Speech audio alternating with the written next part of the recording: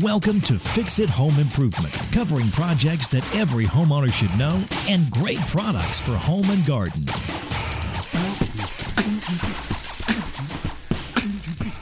Hi, I'm JC, and this is where we share weekly home improvement tips. I'm here with my co host Cindy. Hello, JC. Hi, Cindy. This week we're going to be talking about snails and slugs, and we'd like to thank Danny B for liking and sharing the podcast. We'd also like to thank everyone who sent us some nice emails about our new book.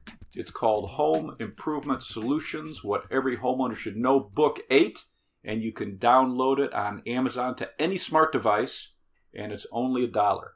And we spoke to Mike from Fluidmaster, and he has some toilet tank repair tips. Researchers think that the brown garden snail was brought into the U.S. in the 1850s from France as a food source. Hmm. Historians have found archaeological evidence of people roasting snails about 10,000 years ago. And around 2,000 years ago, Romans had snail farms, and they would selectively breed snails for the best flavor. And Pliny the Elder, the Here Roman the, the Roman historian, Mhm. he wrote about snail farms. He what s- didn't he write about? yeah, he was pretty interesting. Not a lot of it was real accurate, but but he's got some interesting stuff. He said snails were fattened up with corn flour and herbs and then purged on milk for a few days before they were eaten. What do you mean purged? So they would either starve them or they would feed them a restricted diet to improve their flavor and get rid of any toxins. That's not what purge means. That's what Pliny the Elder thinks purge means. Hmm. When I was doing some research on slug and snail control, one gardener said he goes out every night and collects the snails that are on his lettuce and he eats them. That's Ew. that's his pest control. Have you ever had a snail? No, no, and not no all. escargot for you? no, and they're not all edible. But if snails in your garden are edible, you can eat them. But you have to be concerned if your neighbors are using any pest control because the snails could be ingesting that. Hmm. That's why you should be purging them. They can also carry parasitic diseases. Snails that ingest food or water with parasitic worms can infect people who eat raw or undercooked snails. The worms will work their way to your brain, then burrow into your brain, causing headaches, vomiting, and fatigue. In most people, the symptoms will disappear in a few weeks, but the worms could potentially cause brain damage. Hmm. There was a 19 year old who ate a raw slug on a dare. He developed a brain infection, fell into a coma for 420 days, and the infection damaged his brain, causing him to lose control of his arms and legs. Hmm, terrible. Yeah, amazing. The CDC says don't eat raw or undercooked snails or slugs. Because it's It- gross. And the Hawaii Department of Health recommends eliminating snails and slugs from your garden and near your home. A report said they found snails and slugs will hide in a garden hose during the day and potentially contaminate the hose. Yeah. They recommend not letting your kids or anyone drink out of a garden hose that's been left outside on the ground. Why would you drink out of garden hose left outside on the ground? because it's convenient. You don't Hmm. have to run anywhere for water. Snails and slugs are mollusks, and they're related to clams, squids, and octopuses. Slugs kind of look like a wide worm with eye stalks. They What can are eye stalks? so there's an eye on the end of this tentacle. It's it's very alien looking, and those eye stalks can also be used to smell, and they'll grow back if they're cut off. Weird. They also have two lower tentacles for feeling and tasting. They don't have ears, so they can't hear, but scientists think they can sense vibrations. And they eat with a tongue like organ that's covered with rows of teeth, and they use it like a rasp to saw through your garden plants to eat. It is like an alien. It's pretty wild. Snails are like slugs, but they have a shell they're attached to, and they can go into it for protection from predators and to keep them from drying out. Slugs and snails move around by flexing the muscle along the bottom of their body, and they produce a slime or mucus that helps them slide over surfaces. Gross. The sli- that slime also helps prevent their body from drying out, and they're generally hiding during the day to keep out of the sun. They're going to be most active at night and on cloudy days. In cold climates, garden snails and slugs will burrow into the soil and hibernate. In hot climates, they'll hibernate during hot, dry periods in cool, damp areas. And many garden snails and slugs are gray in color, but they can be yellow to black. And most have both male and female reproductive organs. Hmm. So, in the right conditions, you can have a population explosion in your garden. Exciting. Garden slugs are usually around an inch long. A garden snail could have a shell around an inch high and one to one and a half inches wide. And there's quite a variety of colors and patterns on their shells. And the shells actually grow with the snail. They keep adding to the outside edge so it gets longer and wider. Britain has the world's largest slug. It gets about 12 inches long. Hmm. Garden snails and slugs, they'll eat lettuce, peppers, strawberries, spinach, basil, dill, cucumbers, along with most small green plants in your garden. They'll also eat flowers in your landscape areas, and they're great climbers. They can go up trees and bushes. Hmm. I saw a couple pictures online of trees filled with snails. They're all over the bark, and they can strip the bark off young trees. They're actually very good at climbing, so they can go up the side of your raised garden bed, which is pretty crazy. I, I would never imagine that slugs and snails would be good climbers. Why? They don't have feet. But they have slime. If you have a snail problem in your garden, the first thing to do is eliminate any good hiding spots.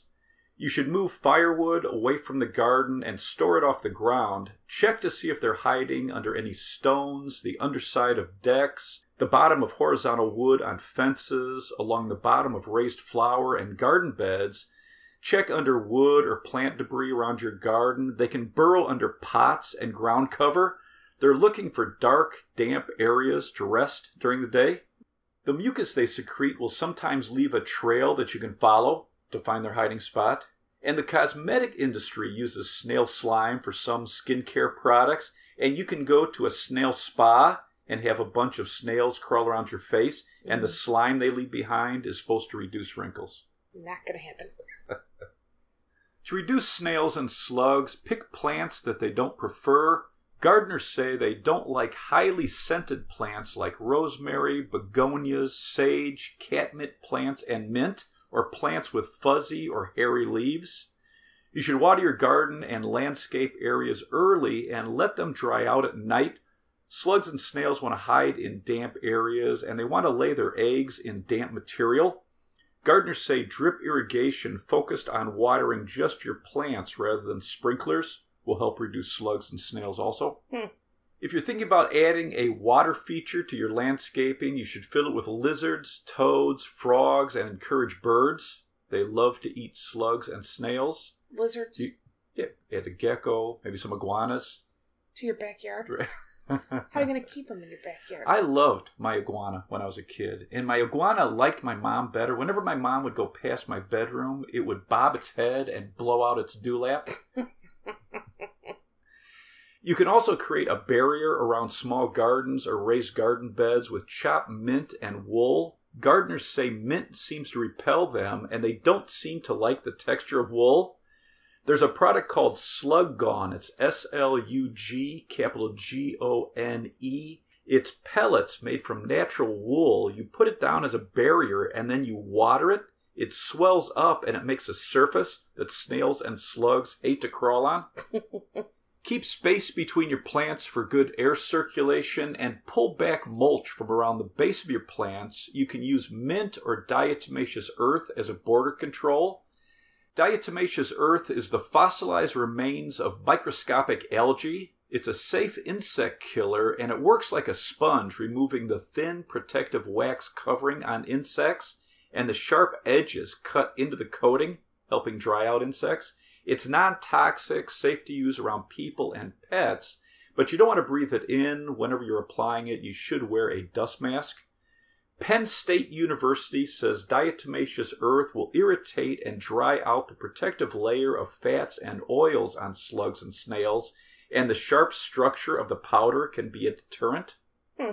Gardeners say you don't want to overdo the application of diatomaceous earth in your garden. There's a lot of beneficial bugs you don't want to kill.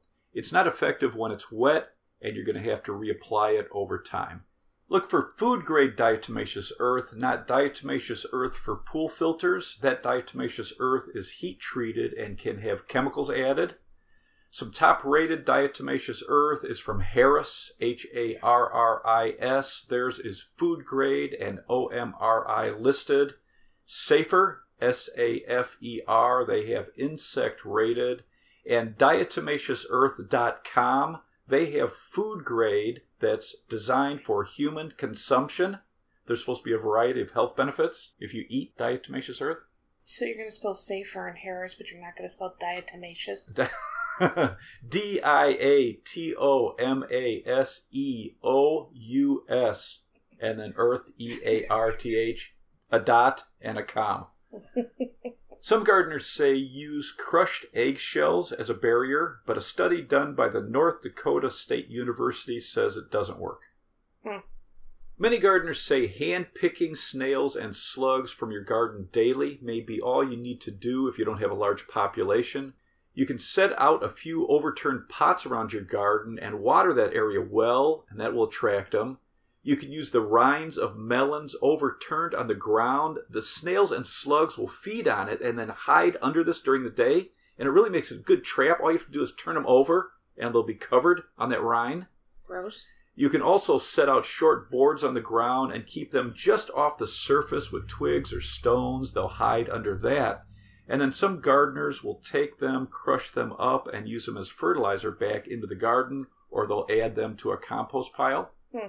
Gardeners say beer attracts snails and slugs, so bury a pie plate, a small bucket, a soup can, or a cup with the top edge even with the soil surface, and then any snails or slugs falling into the beer, they're usually going to drown. And then you can add that to a compost pile or throw them out. And you should be checking this once a day or once every couple of days. Is beer good for your compost pile? Absolutely. Nothing better. you don't want to use salt to kill slugs and snails. It will damage your plants, the soil, and microorganisms in the soil. You sounded kind of sad about that. There are slug and snail baits. I would check the chemicals when I'm comparing. Many use metaldehyde or methiocarb. Both are toxic and not approved for organic gardening, and they've been trying to ban metaldehyde in the UK, saying it's bad for the environment. They're both dangerous for people and pets. Some formulations add other chemicals that will kill earthworms and other beneficial insects. Slug and snail baits that use iron phosphate or ferric sodium EDTA are considered much safer. They're less toxic to dogs and cats, and they're using iron to kill the slugs and snails. Some top rated companies with snail bait, Safer, S A F E R, Corrys, C O R R Y S, and Garden Safe. Many gardeners say copper strips put around the outside of a raised garden bed or around the base of a tree will prevent slugs and snails from going over it. Where are you getting copper strips? So, a lot of garden centers or hardware stores will have copper strips for slugs and snails. It's like a thing.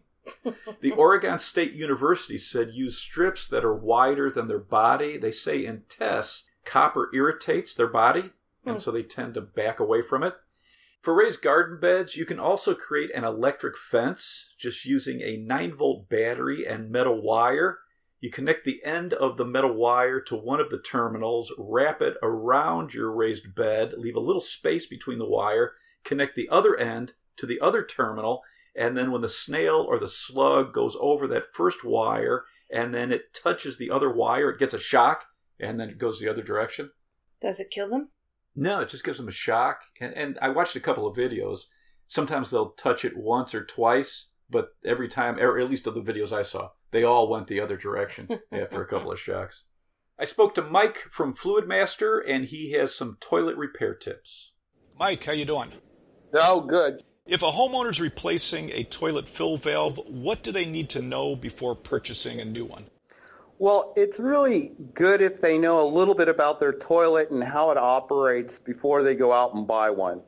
For example, three key things that we like to ask our customers are, do you know how old your toilet is? That'll give us a gallon per flush reference on what they should use. Do they have a special type of flushing system? Is it a flapper or a canister? Or maybe there's something stamped. A lot of toilets today have stamped inside 1.6 gallon per flush, 1.28. So being able to look at these three basic ideas or things, that should allow you to know what you need to get. And what are the different types of fill valves if I walk into a hardware store? Well, there are a lot of different types of fill valves out there. I think Fluid Fluidmaster's done a really great job with their selection because we basically have two. We've got our Performax fill valve, which is our high efficiency valve, and our Universal 400A, which everybody seems to know. What's really great about the two is that the 400A is a standard fill valve, which will work on most 1.6 and larger gallon per flush. In, in layman terms, if your toilet's from 2000, 2001, all the way back to 1940, there's a good chance the 400A is going to fit and work fine.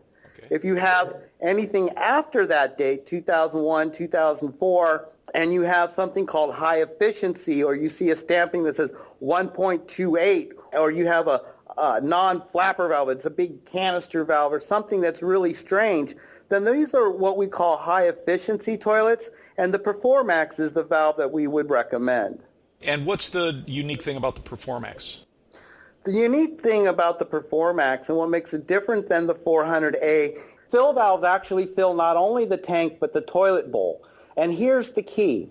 A Performax fill valve puts more water into the toilet bowl. It comes down to a timing issue. We have to make sure that because we're filling the tank faster, we need to put more water faster into the bowl to get it to the highest level. The main thing we're looking to do is get the water in the bowl to the top of the trap for the best flushing? That is correct when the bowl is not filled up to its optimum level, let's say it's lower than that. Let's say you put a 400A or a ball cock in a high efficiency toilet. The ball cock will go ahead and fill the tank up, but because the flushing system closes down so soon, you won't have enough water in the bowl. Not enough water in the bowl can lead to two big problems. One, you have to sit there and flush a couple of times to get everything out of it. And two, it could actually let sewer gas into the home and permeate the walls, which is not a good thing. Wow, interesting. So if I were replacing a fill valve and I didn't know how many gallons per flush, is there anything I can do to figure that out? Or if I get the Performax, is it kind of goof proof? Actually, the 400H, which is the Performax fill valve, is kind of foolproof. Okay. Well, the way we've designed it is that it's set up to refill the toilet bowl just like the 400A. So it's foolproof. However, it's got a little knob adjustment so that if you need more water to the bowl more quickly, you can just twist a little knob and that will increase the water to the bowl. So the Performax 400H is really a foolproof system. But to really answer your question, the only way to know if there's no marking on the tank it's not stamped anywhere. You're looking at this. Guess at the toilet's age. There are three key ages, 1985, 1994, and roughly 2005. The 85 metric, it means that you have the first original water-saving toilets, which is a 3.5 gallon per flush. The 400A is great for that. Okay. After 1994, it went to 1.6 gallons per flush. Again, it's about 2005. That's really great for the 400A. It's still a standard refill toilet. Anything after 2005, and there are some exceptions, the gallons per flush actually get less. We see more 1.28s. We're seeing a lot more dual flush systems. We're seeing a lot more alternating flushing systems that require more water to the bowl, and that's where the Performax comes in. So let's say I don't have any idea. I just moved into a new home, just purchased a new home, and my toilet's not filling properly. I'm going to change the fill valve. If I get the Performax 400H, what's the key things I need to do to have enough water in the tank and the bowl? I think the key thing is the primary adjustment. The Fluidmaster H, it has three primary adjustments. It's got the height adjustment, so you can actually lengthen it to conform to the height of the tank so you get enough water. Okay. Okay. You have a secondary adjustment which is allowing you to raise or lower the water in the tank so that you can have it to the water line that's stated or to someplace below the overflow pipe. And then you've got the third adjustment, which is the bowl adjustment, which can raise and lower the water in the bowl. So it's kind of foolproof. Mike, if I wanted to replace the flapper inside the tank, or if I have a canister style flush valve, what would I need to know? First off, a flapper valve and a canister uh, flush valve, they do the same thing, but they're very different. And there are two different connection points. So the first thing you have to decide is look in your toilet and do you have a canister versus a flapper? That's the first thing. A flapper will replace a flapper valve, but a canister valve can only be replaced by a canister valve in most cases. And with a canister, we're talking about a rubber gasket, a seal. A canister usually is a tower. Maybe that's a better way to describe it. It's usually a long plastic tower that comes up and comes down to release the water, which is connected either by a tank lever or a cable assembly or something like that. And in that case, with a canister, I'm replacing a circular seal rather than a flap. That's correct. Most canisters will have a flat seal at the bottom of the canister where it meets the ceramic tank. And a lot of times the canister will just pull straight out of the tank very easily without re- having to remove the tank and then just peel off the seal and replace it. And how would I decide what I need?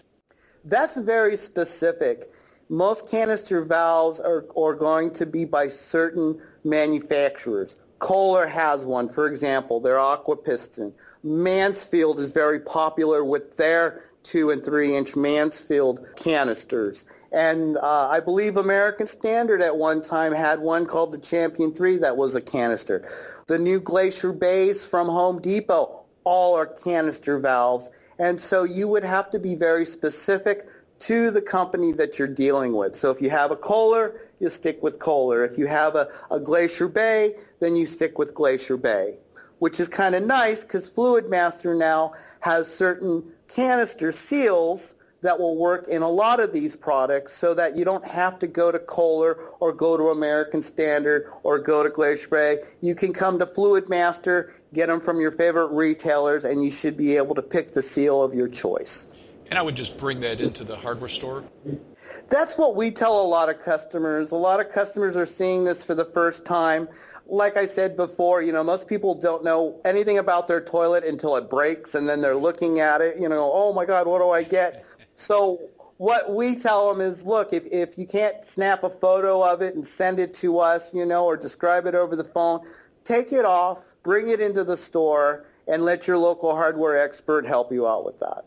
And with the flapper style, there's different sizes now? Yes. Flappers have gotten a little bit more complicated with the advent of these large three-inch or larger flappers. A myriad of different manufacturers, including American Standard, again, Glacier Bay, Kohler, they, and Toto, all have these larger three-inch flapper systems, which um, are high efficiency. They let more water into the bowl uh, let, they get to use less water even though they're putting more water at the same time into the bowl. So yes, bringing the flapper and knowing what it looks like and how big it is is very important.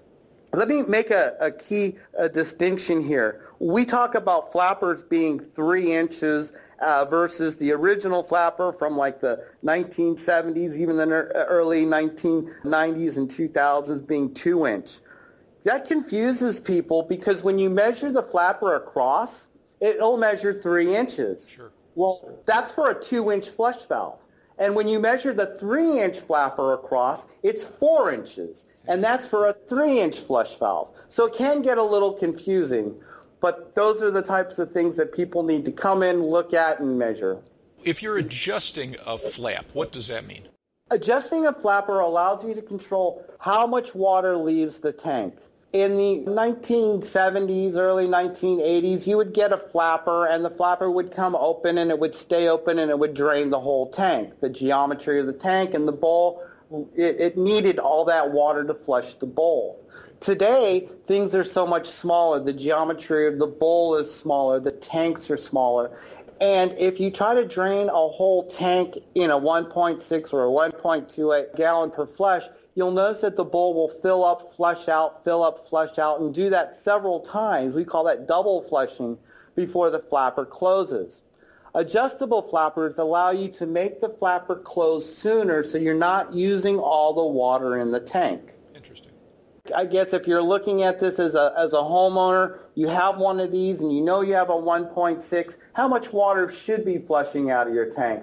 Well, every manufacturer is going to tell you something a little different, but if you just use this trick, if you say, well, just about half the water in the tank should leave, and you just use that, you know, as a barometer, you should be able to go ahead and get a good, powerful flush using the recommended amount for that particular toilet. If it's a 1.28, it's maybe one-fourth of the tank. Looking at, you know, what to use and how much to use, that's a really good way that I explain to my customers over the phone if they're using the right amount of water or not. Mike, you guys have a new tank lever called the Perfect Fit. Yes. And what's the unique thing about your tank lever? The tank lever for Perfect Fit has one really neat feature. Most people will go out and buy a tank lever and they'll put it on, but now a lot of people are having these right-handed tank levers. Champion from American Standard is a good example. I actually own one at home. And the tank lever is on the right. Well, if you ever bought a generic tank lever and then you got it home and the tank lever is supposed to be on the right, it's upside down and it doesn't work, okay? And you're like, what the heck, right? Right. So Perfect Fit has actually figured out a way to remove the handle so it can go not only on the left-hand side, but the right-hand side. That's great. The other neat thing is that the arm is, is canistered so it can move back and forth.